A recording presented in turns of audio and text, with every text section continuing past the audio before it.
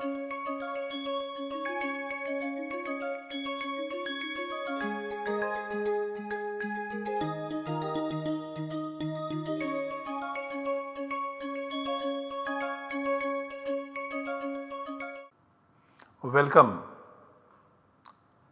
I welcome you all to this lecture in the course Introduction to Paninian Grammar.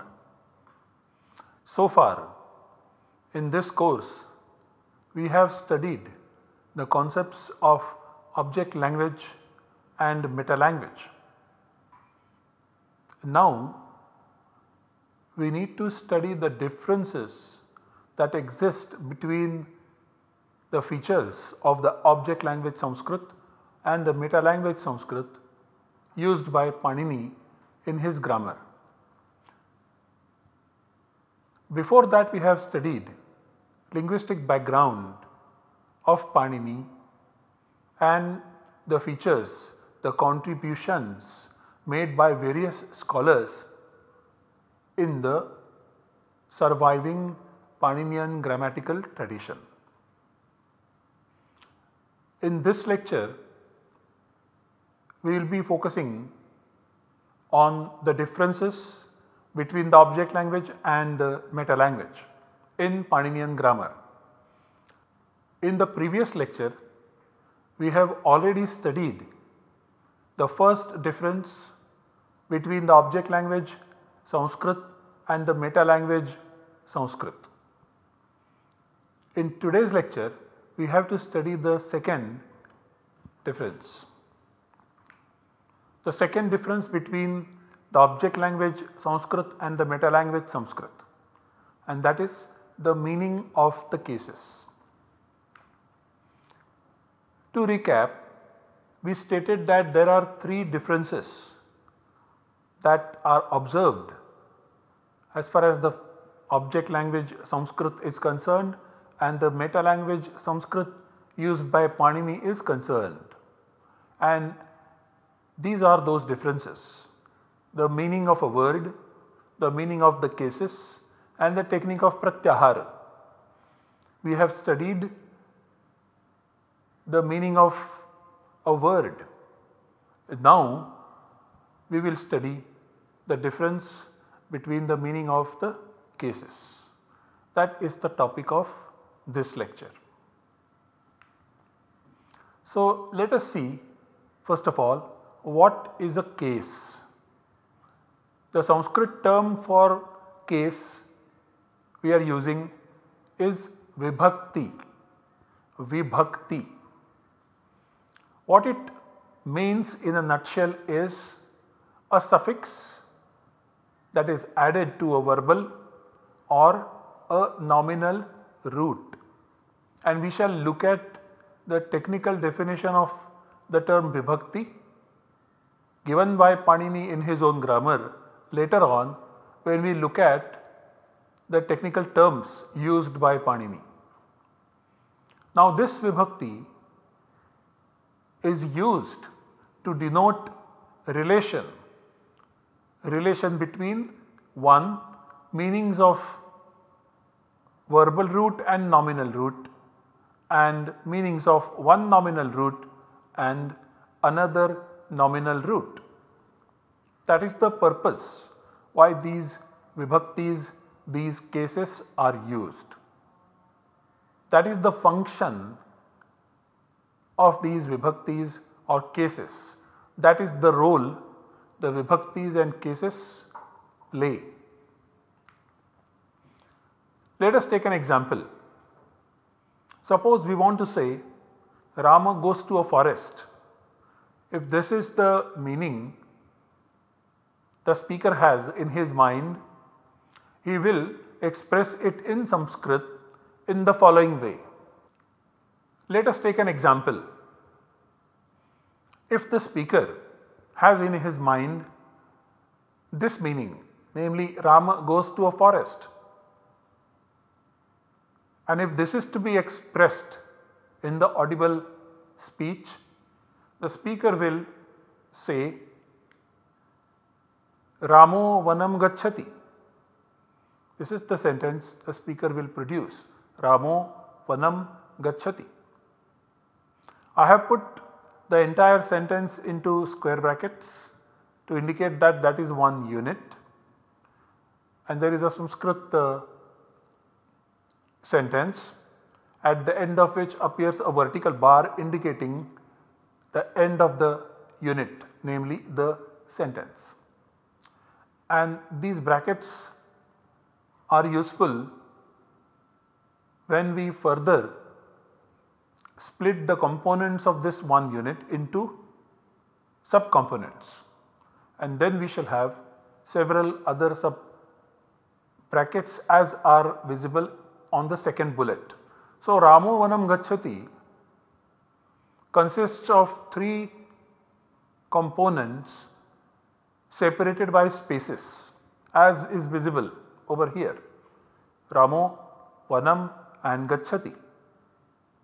Now we mention them separately as components.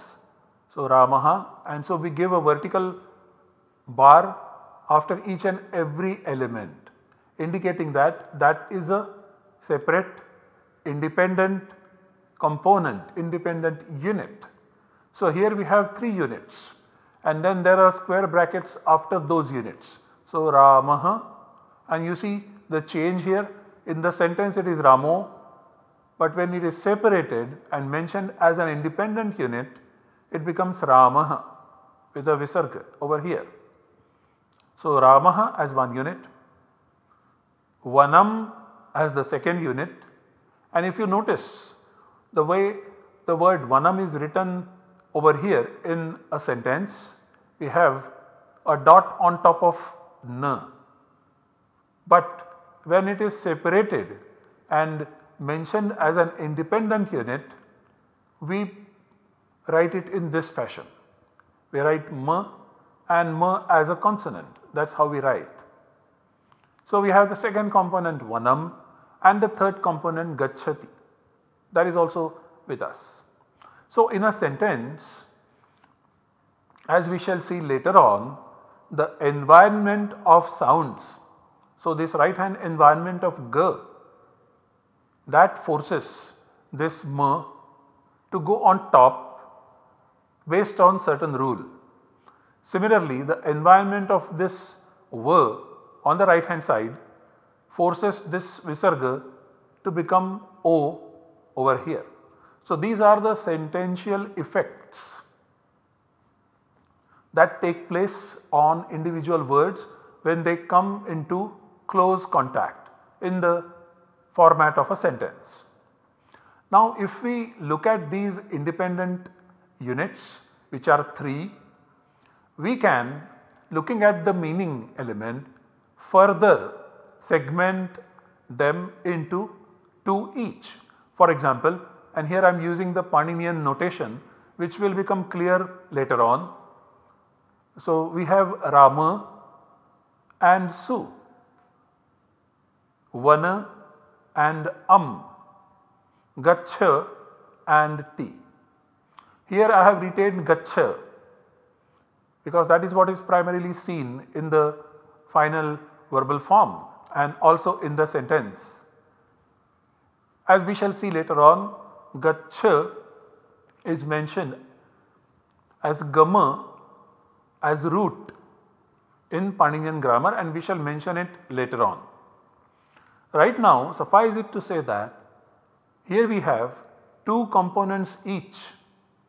So, in all there are 6 components Rama plus Su, Vana plus Am and Gacha plus Ti. So, now if we observe the left hand side elements in all these brackets we have Rama, Vana and Gacha. Rama indicates a person whose name is Rama. Vana indicates an entity called forest and Gacha indicates an action of going. Now this is an action and these two are entities. So this is a verbal root and these two they are the nominal roots. So, these three elements on the left hand side they are used together. What is the relation between them? That is what is specified by these right hand side elements. And this will become clearer when we look at the Karaka system later on in the course. But right now we can say that this am shows the relationship between this vana and this gacha. So vana is the object that is being reached and this su shows its relation with ti. So it is Rama who is performing the action of going. In this manner we can say that it is these right hand side elements which show relations of nominal roots as well as the verbal root. To recap of what I said, Su expresses the relation of Rama with Ti and Am expresses the relation of Vana with Gacha which is mentioned as Gama in the Paninian grammar as a root.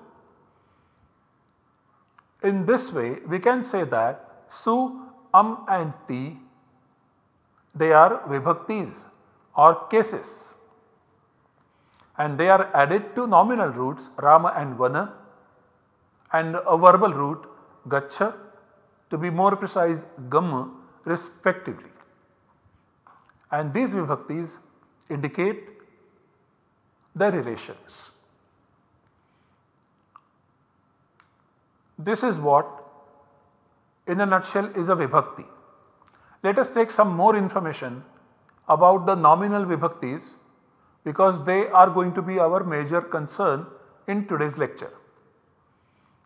So, there are nominal vibhaktis which are actually added to nominal roots.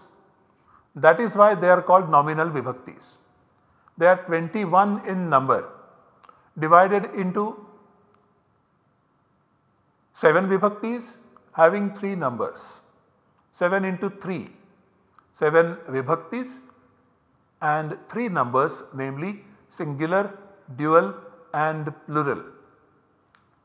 And on this slide we have presented the 21 forms of the word Rama to give you an idea of what Vibhakti is. So, here are the forms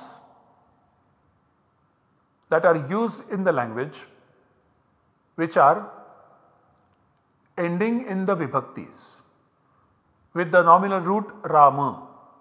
These are Vibhaktyanta words. And as you can see there are 7 rows and there are 3 numbers. So, there are 21 forms.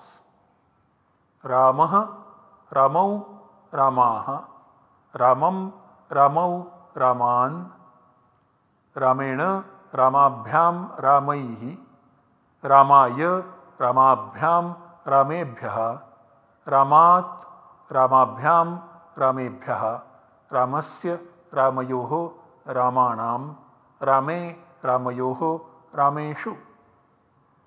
7 rows, 7 vibhaktis and 3 numbers singular, dual and plural. And these are called Prathama, Dvitiya, Tritiya, Chaturthi, Panchami, Shashti and Saptami. Now what do they actually mean? On the next slide we have presented the meanings. So for example, if you are talking of 1 slash 1 namely Rama, then the meaning is 1 Rama. 1 slash 2 Ramau, the meaning is 2 Ramas. 1 slash 3 Ramaha, it means 3 Ramas, 3 and plus Ramas, many. If you are talking of 2 slash 1 that is Ramam, then it means 2 1 Rama. 2 slash 2 Ramau means 2, 2 Ramas and 2 slash 3 Raman means 2 3 plus Ramas. 3 slash 1 Ramena means by one Rama. 3 slash 2 Ramabhyam means by two Ramas and 3 slash 3 Ramaihi means by 3 plus Ramas. 4 slash 1 Ramaya means for one Rama. 4 slash 2 Ramabhyam means for two Ramas and 4 slash 3 Ramebhya means for 3 Ramas. 5 slash 1 Ramat means from 1 Rama. 5 slash 2 Ramabhyam means from 2 Ramas. 5 slash 3 Ramebhya means from 3 plus Ramas. 6 slash 1 Ramasya means of 1 Rama. 6 slash 2 Ramayoho means of 2 Ramas. 6 slash 3 Ramanam means of 3 plus Ramas. Coming to the last vibhakti, 7th vibhakti, Saptami. So 7 slash 1 that is Rame means in or on one Rama. 7 slash 2 that is Rama Yoho means in or on two Ramas. And 7 slash 3 Rameshu means in or on 3 plus Ramas. These are the meanings in which these nominal vibhaktis and vibhaktiyanta forms are used in the object language. These are the meanings and it is these meanings which we shall compare when we talk about the difference between the object language and the meta language and we focus on the meaning of the cases. This is what we shall focus on. And then there are some verbal vibhaktis, but right now we are not going to go into the details of this we will deal with the vibhaktis when we talk about the technical terms used by Panini in his own grammar. In brief what we can say is that the verbal vibhaktis are 18 in all divided into two groups of 9s and each group of 9 vibhaktis is further divided into 3 persons and 3 numbers. So, here are some examples of the verbal vibhaktis. They are ti, tas and anti and so on. Similarly, ta, atam and ant from the other set. This one is called parasmaipada and this one is called atmanepada. Now, these correspond to 3 numbers and also 3 persons and these verbal vibhaktis they also denote tense as well as mood and they also denote karta, karma or bhava, karta or karma or bhava. We shall also study these when we later on talk about the karakas. These are the features of the verbal vibhakti, but as said earlier we will not be dealing with this aspect of verbal vibhaktis because there is not much difference in the meta language in the meaning of verbal vibhaktis. But we will focus on the nominal vibhaktis and as I was referring to the nominal vibhaktis as 1 slash 1, 1 slash 2 etc. Here is a note on that once again. So, we refer to the nominal vibhaktis as let us say 2 slash 1, 2 slash 2, 2 slash 3. This means that we are referring to second case dvitiya and singular and dual and plural respectively. When we use this notation 5 slash 1, 5 slash 2, 5 slash 3, we are referring to the fifth case and singular or dual or plural. When we say 6 slash 1, 6 slash 2, 6 slash 3, we are referring to the sixth case singular and dual and plural. Similarly, when we say 7 slash 1, 7 slash 2 and 7 slash 3, we are referring to the seventh case singular, dual and plural. This is the notation that we are going to use hereafter in this particular course and it should be clear to you that we are referring to the cases and the numbers. So, the left hand side refers to the number of the case and the right hand side refers to the number. So, the main difference to be observed over here is that the left hand number over here will not exceed 7 and the right hand number will not exceed 3 as there are 3 numbers and 7 vibhaktis. Now let us look at the important vibhaktis in the meta language of Paninian grammar. In the meta language of Paninian grammar, three nominal vibhaktis are used to denote different meaning than the one denoted in the object language and they are 5, 6 and 7 and also 1 in combination with 6. This is the difference. So, we will be focusing on these 3 mainly and together with the 6th we will be also focusing on the first vibhakti, first case. Let me repeat the 3 vibhaktis which denote different meaning than the one denoted in the object language are the 5th, the 6th and the 7th Panchami, Shashti and Saptami. And along with these 3 the first one also the Prathama used in combination with the 6th case Shashti that also denotes a different meaning. And we shall study these now. So, these are the special vibhaktis.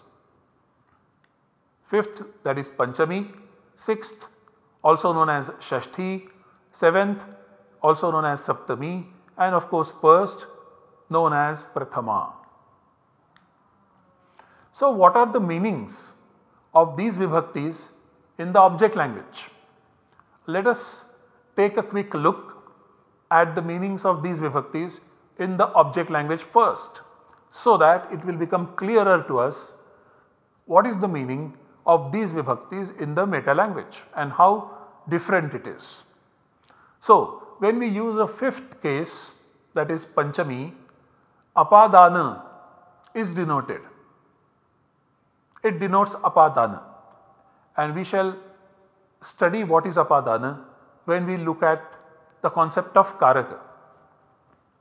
Right now it is enough for us to say that the fifth case that is the Panchami Vibhakti is generally translated with the help of the word from.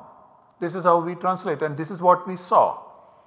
So, the fifth case forms of Rama 5 slash 1 which is Ramat was translated earlier as from one Rama.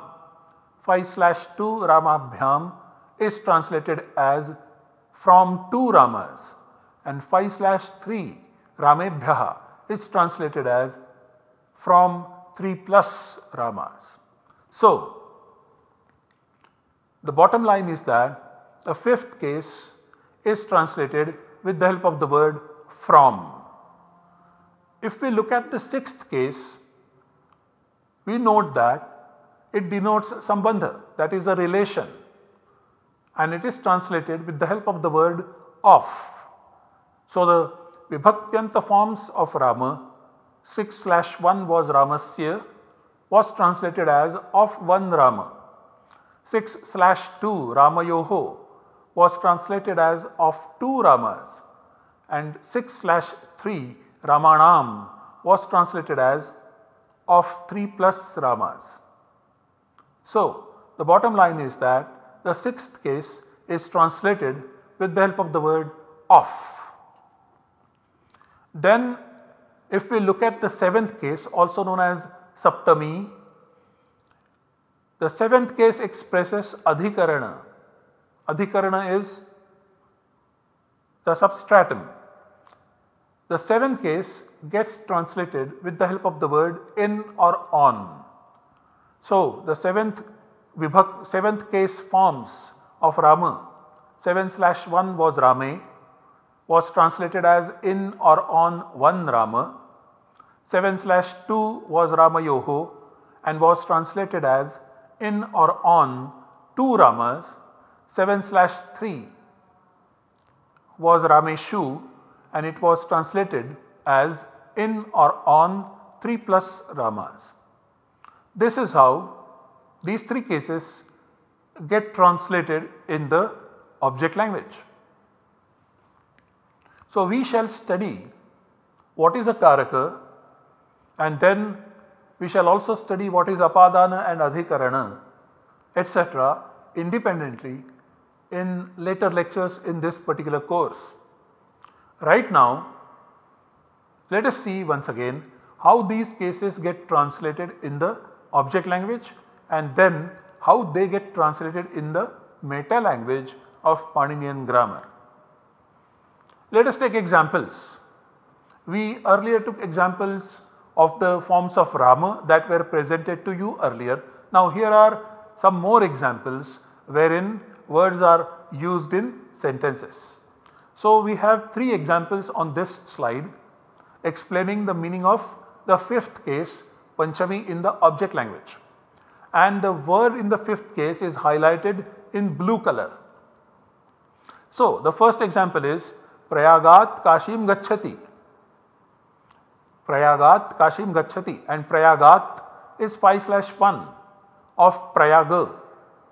Now, this sentence means he or she or it goes to Kashi from Prayaga. So, please note the word from used to express this fifth case. Prayaga means Prayaga, name of a place and this fifth case is expressed by using the word from. So, Prayagat stands for from Prayaga.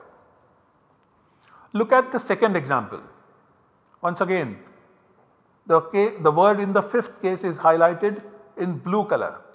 The sentence is Vrikshat Parnam Patati. Vrikshat Parnam Patati. What it means is a leaf falls from a tree. Now Vrikshat is 5 slash 1 of Vriksha. Vriksha means a tree and this fifth case is translated using the word from as is clear over here. Now let us look at the third example which is Himalayat Ganga Pravahati. Himalayat Ganga Pravahati. Himalayat is in fifth case that is why highlighted in blue. What this sentence means is the river Ganga flows from the Himalaya. So, Himalayat is the fifth case of Himalaya that is the name of the mountain protecting India in the north. But this fifth case is translated as from. The fifth case is translated using the word from. So, these three examples show that the fifth case is translated using the word from in the object language Sanskrit. Now let us look at how the sixth case namely Shashti is translated in the object language and we have seen the examples of the word Rama which were translated using the word of. Now here are the examples in the sentences. The first sentence reads Dasharathasya putram Ramam smarami and the word Dasharathasya appears in the sixth case or Shashti Vibhakti. Dasharathasya is the sixth case of Dasharatha. The translation of this sentence is I remember Rama the son of Dasharatha. So, the word Dasharathasya is translated as of Dasharatha. Dasharatha is the meaning of Dasharatha the meaning of the sixth case is expressed using the word of over here. Similarly, let us take the second example. It says Vayam Samskritasya Chhatras Maha. Vayam Samskritasya Chhatras Maha. Where the word Samskritasya is used in the sixth case. What it means is we are the students of Sanskrit. Samskritasya is the sixth case of Samskrita. So that Samskrita is mentioned by the word Sanskrit over here and this sixth case is translated using the word of over here. And now the last example Grantho Manavasya Mitramasti. In this Manavasya is used in the sixth case. The, this is the sixth case of the word Manava. The translation of this sentence is a book is the friend of a human being. So Manavasya is translated as of a human being. Manavasya is the sixth case of Manava and Manava is a human being and this sixth case is translated using the word of over here in this sentence. Now let us look at the examples of sentences in which a word is used in the seventh case Saptami and how it is translated. So in the first example Saha Grihe Nivasati, Saha Grihe Nivasati, Grihe is in the seventh case and it is translated as in the house. So, the translation of the sentence is he lives in the house. Now, Grihe is translated as in the house. Grihe is the seventh case of the word Griha meaning the house. So, the seventh case is translated using the word in. Let us look at the next example. Buddhau sthirata shreyaskari asti where the word buddhau is used in the seventh case. The meaning of this sentence is the stability in the intellect is for better. Now buddhau is translated as in the intellect. Buddhau is the seventh case of the word buddhi which is the intellect. So here the seventh case is translated using the word in. Similarly, in the last example on the slide, Jalashaye Matsyastaranti in which Jalashaye appears in the seventh case. This sentence is translated as the fishes swim in the lake. Jalashaye is translated as in the lake. Jalashaye is the seventh case of Jalashaya which means the lake and the seventh case is translated as in. The seventh case is translated using the word in. This is how the three cases are used and are translated in the object language Sanskrit. To summarize what we have studied so far, we can say that in the object language Sanskrit, the cases, the vibhaktis carry particular meanings. Fifth case denotes point of separation. Sixth case denotes relation and seventh case denotes substratum. Fifth case is translated by using the word from. Sixth case is translated by using the word of and the seventh case is translated by using the word in or on. And most importantly, these cases get a different meaning in the meta language of Paninian grammar. This we shall study in the next lecture. Thank you so much.